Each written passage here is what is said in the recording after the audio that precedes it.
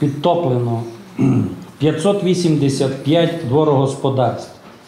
Із них 111 житлових будинків, 484 підвальних приміщень житлових будинків, 1700 гектарів сільськогосподарських угідь та 170 гектарів пасовищ.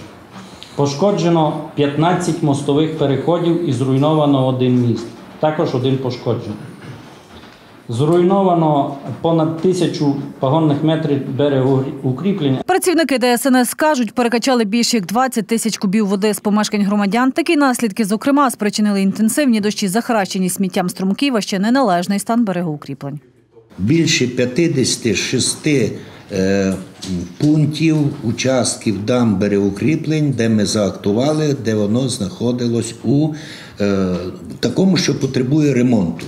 Де- Деякі участки в аварійному стані. Накаплюється кількість порушених дільниць, тобто амортизуються повністю основні фонди, захисні фонди, а фінансування, відновлення його нема.